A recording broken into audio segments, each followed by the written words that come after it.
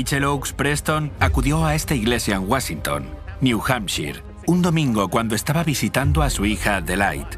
Al mismo tiempo, un predicador había venido a la ciudad para tener el sermón. Era Frederick Weller. Ese domingo en particular había Santa Cena. Mientras el orador hablaba, explicaba cómo todos debemos estar dispuestos a seguir a Cristo de forma constante, cómo debemos obedecer a Dios y guardar sus mandamientos. Rachel Oakes era una mujer de firmes convicciones y al escuchar sus palabras decidió hablar con él después del culto. Más tarde, ella comenta que hubiera querido levantarse en mitad de la predicación, pero se contuvo por no dar un espectáculo. Mi hermano debería dejar la mesa de la Santa Cena en su lugar y cubrirla con el mantel blanco hasta que esté dispuesta a guardar todos los mandamientos de Dios.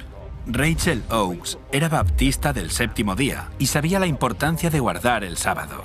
Así que amonestó a Frederick Weller preguntándole si realmente deseaba seguir a Dios en todo.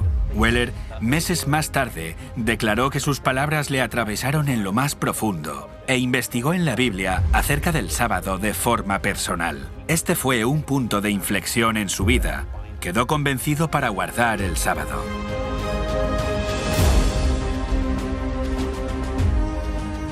Este hecho ocurrió antes del gran chasco del 22 de octubre de 1844. Para los creyentes, era más importante el inminente regreso de Jesús que el sábado. No obstante, esto iba a cambiar.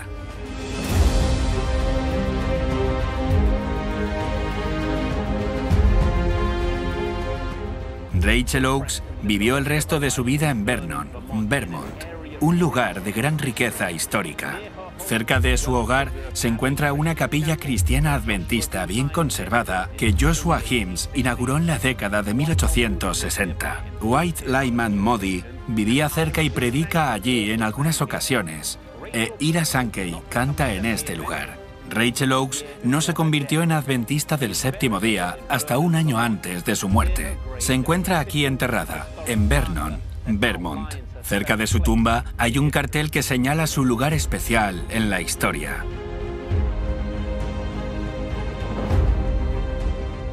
La ciudad de Washington, New Hampshire, también es muy importante en la historia, aunque no sea del todo exacto decir que es el lugar de nacimiento de la Iglesia Adventista del Séptimo Día, es aquí donde se encuentra la primera iglesia milerita que guardaba el sábado y ha continuado siendo iglesia adventista del séptimo día hasta el día de hoy. Aquí puedes caminar por el Sendero del Sábado, que traza la historia del sábado desde la creación hasta la Tierra Nueva en 31 piedras de granito. El sábado es una preciosa verdad que Dios fue restaurando y devolviendo a su pueblo poco a poco. El sábado es un regalo que Dios nos ha dado, un momento para evadirnos de nuestros apretados horarios y renovar y profundizar nuestra relación con Él. Oro para que durante esta semana tengas el tiempo para encontrarte con Él en el día que Dios ha establecido.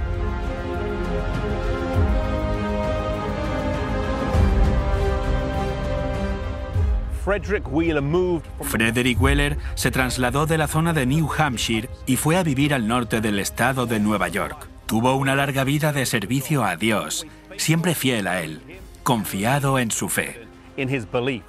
A la edad de 96 años escribió, Nunca me quitaré la armadura del Evangelio. No cederé en el combate hasta que junto a todos los redimidos proclame la victoria final. Murió a la edad de 99 años y se encuentra enterrado en el cementerio de Westmont Road, Nueva York. En su tumba de piedra se lee, él era un ministro pionero de la iglesia adventista.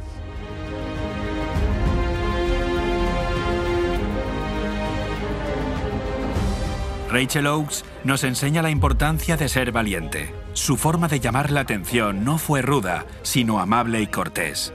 Ella no quería avergonzar a la persona con la que estaba hablando, sino que se acercó de forma amable, considerada y cristiana. Frederick Weller nos enseña la importancia de ser humilde y honesto. Cuando se le señaló algo en su vida que no era correcto, reconoció su error y aceptó la nueva luz para estar en sintonía con la palabra de Dios. Que Dios nos conceda estos atributos de carácter mientras caminamos junto a Él.